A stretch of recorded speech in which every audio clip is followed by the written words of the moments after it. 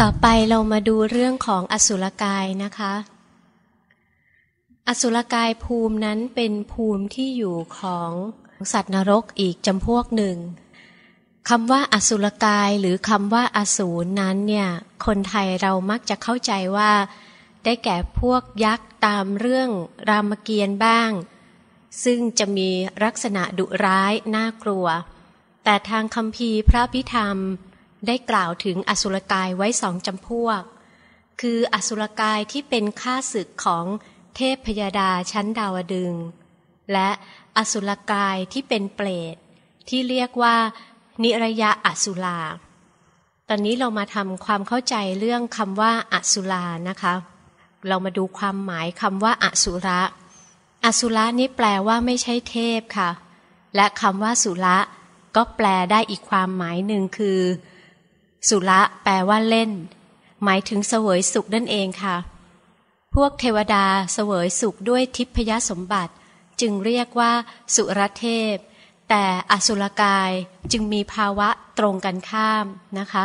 สุระแปลว่าเสวยสุข ถ้ามีอะมาอยู่ข้างหน้าคำว่าอะเป็นบทปฏิเสธค่ะ ก็หมายถึง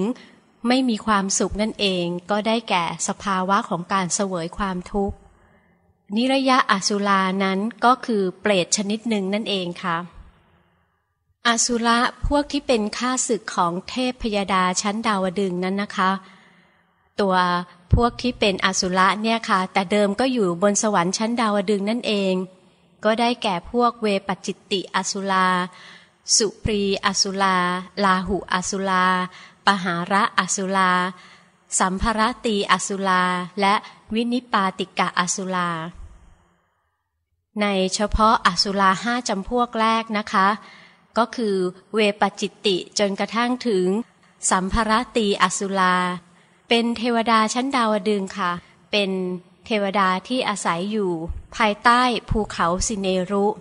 เป็นเทวดาชั้นดาวดึงเหมือนกัน แต่ว่าสถานที่อาศัยเขานั้นเนี่ยอาศัยอยู่ที่ใต้ภูเขาสิเนรุ เรื่องกล่าวไว้นะคะว่า แต่เดิมอสุรเทพทั้งห้าพวกนี้นะคะ เคยอาศัยอยู่บนสวรรค์ชั้นดาวดึง ต่อมา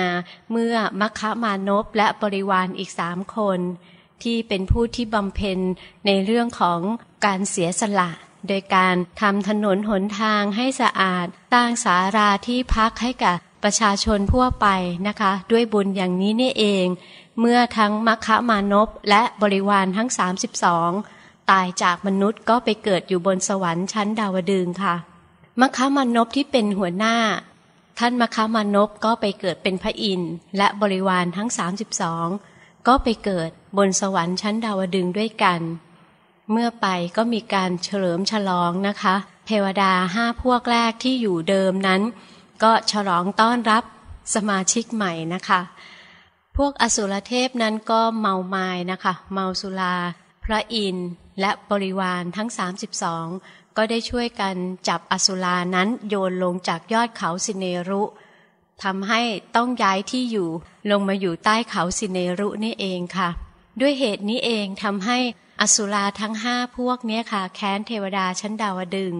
แล้วก็มีการยกพวกขึ้นไปบนเขาสิเนรุ ไปรบกับเทวดาชั้นดาวดึงอยู่หลายครั้ง บางครั้งก็ชนะ บางครั้งก็แพ้ ดังนั้น อสุราที่มีชื่อว่าวินิปาติกะอสุรา เป็นเทวดาชั้นดาวดึงเช่นเดียวกัน เป็นพวกที่หกเนี่ยค่ะ แต่เป็นเทวดาที่มีรูปร่างเล็กกว่าเทวดาที่อยู่ในชั้นดาวดึง แล้วก็มีอำนาจน้อยกว่าด้วย สถานที่อาศัยของเทวดาประเภทวินิปาติกะอสุรานั้น ก็อาศัยอยู่บนโลกมนุษย์บ้าง อยู่ตามป่าตามเขา ต้นไม้ศาลาที่เขาปลูกไว้ ซึ่งเป็นที่อยู่ของภูมิมัตเทวดา วินิปาติกะอสุลาเป็นบริวารของภูมิมัตเทวดานั่นเอง คือมาอาศัยอยู่ในบริเวณที่เดียวกันนะคะ เราเข้าใจในส่วนเกี่ยวข้องของอสุระแล้วนะคะ ก็ได้แก่เทพชั้นดาวดึง ตอนนี้เรากลับมาดูในเรื่องของนิรยะอสุลาค่ะ ก็คืออสุรกายเป็นเปรตจำพวกหนึ่งที่ต้องอาศัย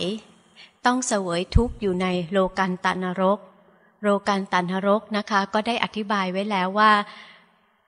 มีที่ตั้งอยู่ในระหว่างกลางของจักรวาลทั้งสามที่มีเขตเชื่อมติดต่อกัน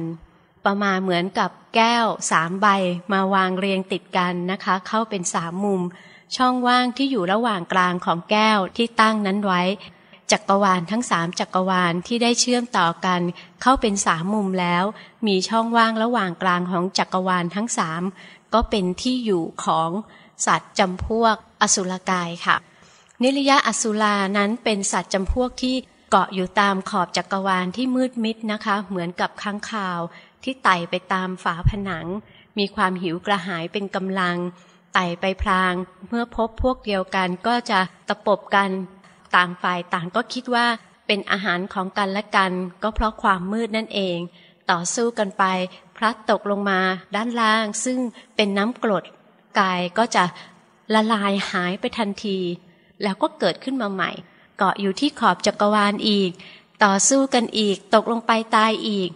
วนเวียนอยู่เช่นนี้นี่เอง